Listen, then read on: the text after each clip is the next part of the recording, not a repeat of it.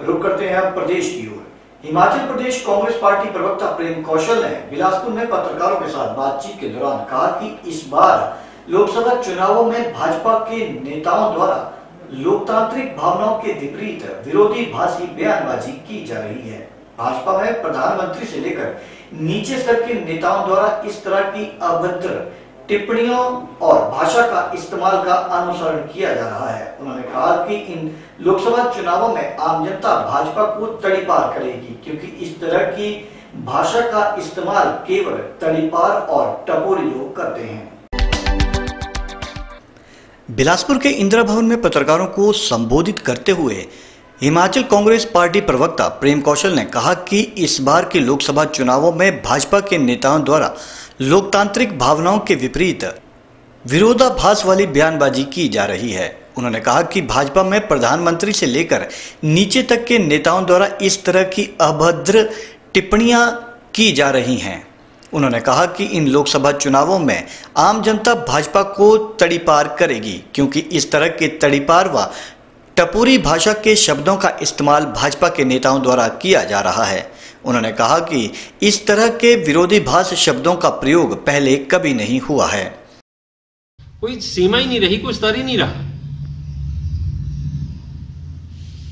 तो मेरा आप लोगों के माध्यम से ये कहना है कि राजनीति चुनाव तेईस तारीख को ख़त्म हो जाएँगे, समाप्त हो जाएँगे, लेकिन हम समाज के अंदर एक ऐसा इस चुनाव की वेला के ऊपर जहर घोल रहे हैं, जो आगे चल के हमारे समाज के लिए बहुत घातक साबित होगा।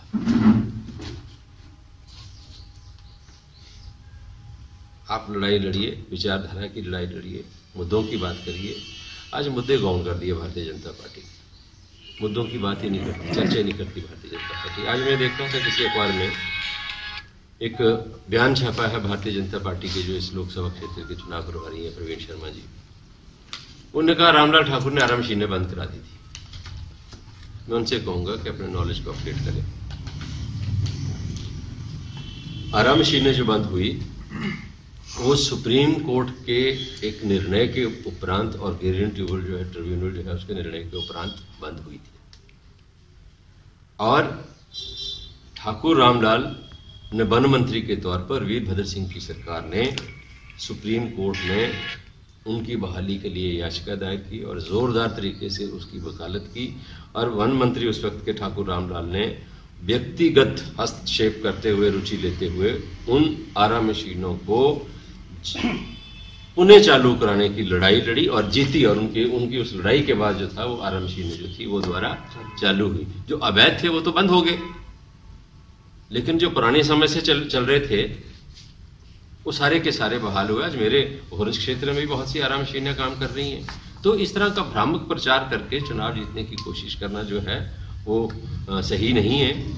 और, कौशल ने कहा कि प्रदेश भाजपा अध्यक्ष सतपाल सत्ती द्वारा कांग्रेस के राष्ट्रीय अध्यक्ष महासचिव प्रियंका गांधी तथा राधा स्वामी समुदाय के लोगों के खिलाफ अपमानजनक टिप्पणियाँ की गई हैं, जो कि निंदनीय है। वहीं उत्तर प्रदेश के मुख्यमंत्री द्वारा भी सामाजिक भावनाओं के विपरीत बली अली जैसे बयान दिए जा रहे हैं। उन्होंने भाजपा प्रत्याशी व सांसद अनुराग ठाकुर पर हमला बोलते हुए कहा कि सांसद अपने पिता व पूर्व मुख्यमंत्री प्रेम कुमार धूमल के अस्तित्व के कारण राजनीति में आए हैं।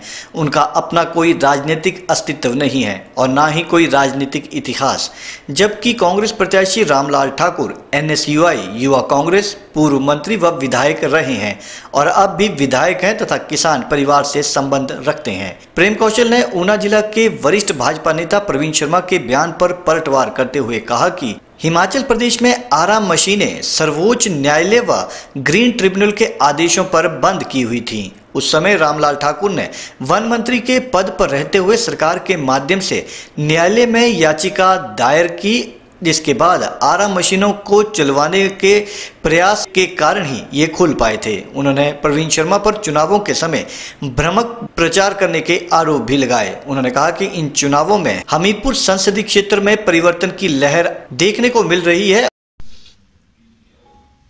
अब तो हालत ये हो गई कि भारतीय जनता पार्टी तड़ी पारों की और टपोरियों की पार्टी हो गई।